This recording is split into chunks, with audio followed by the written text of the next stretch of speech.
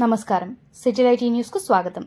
ప్రధాని మోదీ గారి మన్ కీ బాత్ నూట ఎనిమిదవ ఎడిషన్ కార్యక్రమంలో పాల్గొన్న కేంద్ర మంత్రి కిషన్ రెడ్డి గారు. సికింద్రాబాద్ నామలగుండు బిఎన్ఆర్ గార్డెన్లో స్థానిక ప్రజలు బీజేపీ నాయకులతో కలిసి పాల్గొన్నారు. ఈ సందర్భంగా మీడియాతో మాట్లాడారు.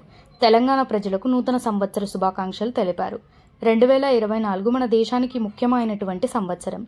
దేశంలో పార్లమెంట్ ఎన్నికలు జరగనున్నాయి. మరోసారి ప్రధాని మోదీ హ్యాట్రిక్ సాధించబోతున్నారు. మోదీ నాయకత్వంలో దేశంలో అన్ని రంగాల్లో అభివృద్ధి జరుగుతున్నది.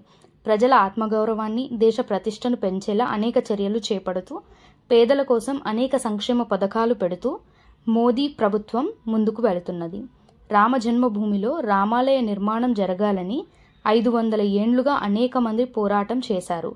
చాలామంది చనిపోయారు. దేశ ప్రజలతో పాటు ప్రపంచంలోని హిందువులందరూ జనవరి ఇరవై రెండున శ్రీరాముడి ప్రాణ ప్రతిష్ఠ కోసం ఎదురుచూస్తున్నారు.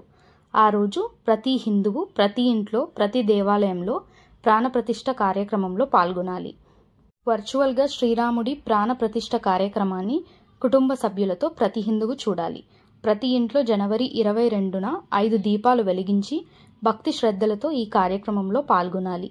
స్వామివారి మహాహారతిలో పాల్గొని శ్రీరాముడి కృపకు పాత్రులు కావాలని కోరుతున్నారు. తెలంగాణ ప్రజలకు ఇరవై ఇరవై నాలుగవ నూతన సంవత్సరం సందర్భంగా హృదయపూర్వకమైనటువంటి శుభాకాంక్షలు తెలియజేస్తా ఉన్నాను. ఈ ఇరవై ఇరవై నాలుగో సంవత్సరము మన దేశానికి చాలా ముఖ్యమైనటువంటి కీలకమైనటువంటి సంవత్సరము. ఈ సమ ఈ యొక్క సంవత్సరంలో దేశానికి సంబంధించినటువంటి సాధారణ ఎన్నికలు పార్లమెంట్కు జరగనున్నాయి ఎన్నికల్లో మరి నరేంద్ర మోడీ గారి నాయకత్వంలో భారీ మెజార్టీతో మరోసారి హ్యాట్రిక్ సంపాదిస్తూ మరి నరేంద్ర మోడీ గారిని ఆశీర్వదించి మరి భారీ మెజార్టీతో గెలిపించాల్సినటువంటి అవసరం ఉంది. దేశంలో అన్ని రకాలుగా అన్ని రంగాలలో కూడా నరేంద్ర మోడీ గారి నాయకత్వంలో గత తొమ్మిదిన్నర సంవత్సరాల్లో దేశం ఎంతో అభివృద్ధి జరుగుతూ ఉంది.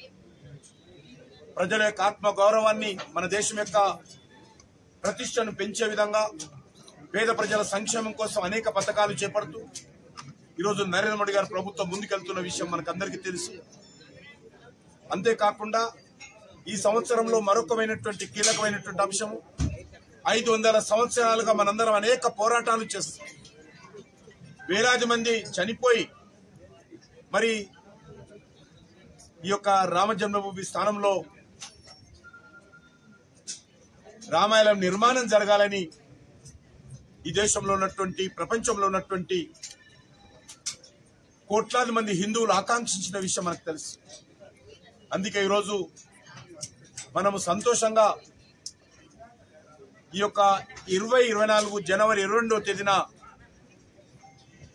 అయోధ్యలో రామ మందిరం ప్రారంభం కాబోతుంది.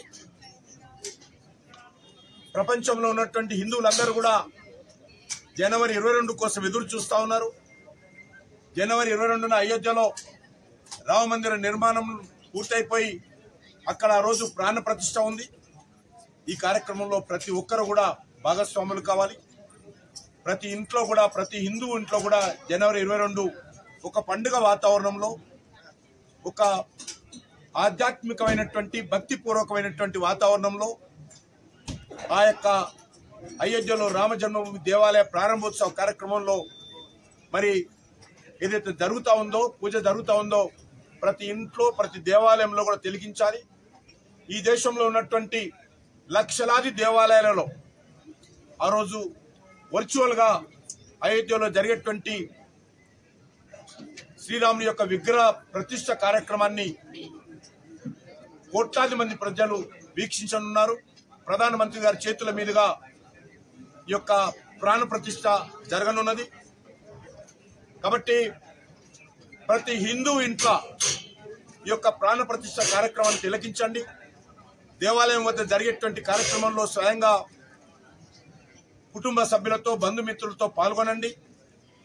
ఇరవై రెండు సాయంత్రం ప్రతి ఇంట్లో ఐదు దీపాలు రామజ్యోతులు వెలిగించండి. ప్రతి ఇల్లును లైట్లతో అలంకరించండి.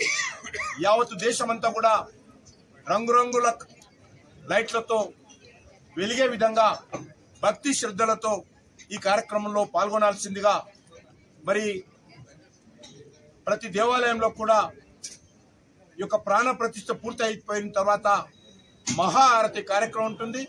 ఈ మహాఆరతిలో కూడా బస్తీ బస్తీలో ఉన్నటువంటి ప్రతి కుటుంబ సభ్యులందరూ కూడా పాల్గొని అక్కడ ప్రసాదం స్వీకరించి శ్రీరాముని కృపకు ప్రాప్తులు కావాల్సిందిగా కోరుతా ఉన్నాను.